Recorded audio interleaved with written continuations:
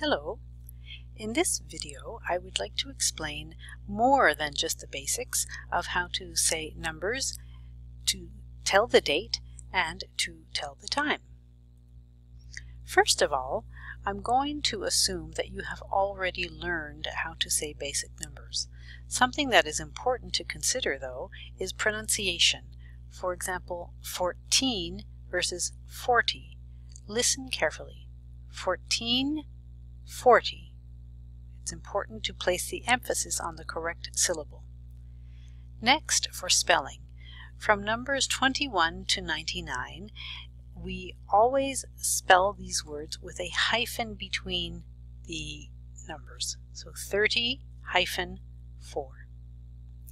When we say numbers, we do not place an S after hundred, thousand, million, billion, etc., if there is a number before it. So in this case, I would say 752. I do not say 700s Of course, the word and is not obligatory. Some people say 752. In this number, I would say 2,836. But again, notice that I spell 36 with a hyphen. When we say the date, it is easy to break it into two segments. 1988.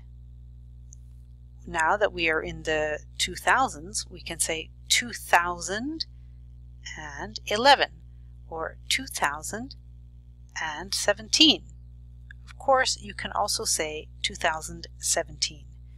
Today is April 28th, 2017.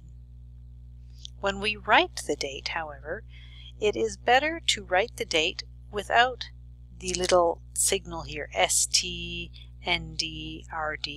It's easier to write it such as this, although we would say May 1st, 2016.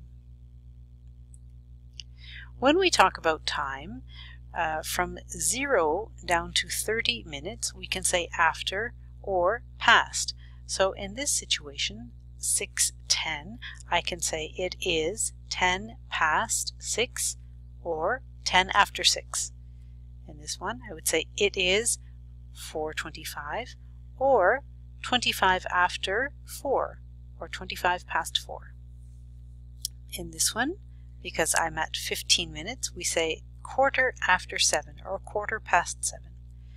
But when we uh, have the minutes from 31 to 59, we say it is 2 because it is going to the next hour.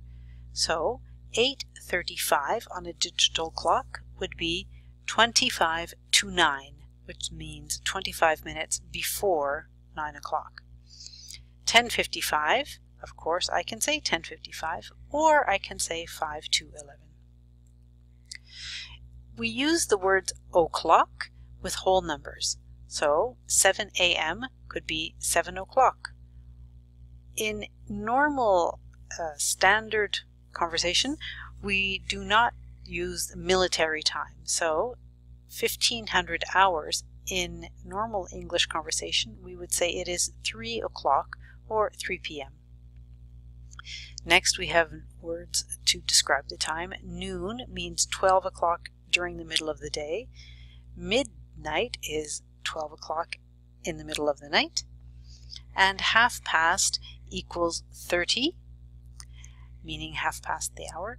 And of course, quarter to and quarter after. But do not say midnight 30 or noon 30. We say 12.30. Let's practice. In this one, I would say 8.05 on a digital clock or 5 after 8 or 5 past 8. 7.15 I can say or quarter after quarter past 7. In this one I can say 4.30, it is 4.30 or half past 4. Again, this one is an example of military time, 1800 hours, but in conversational English we say 6 p.m.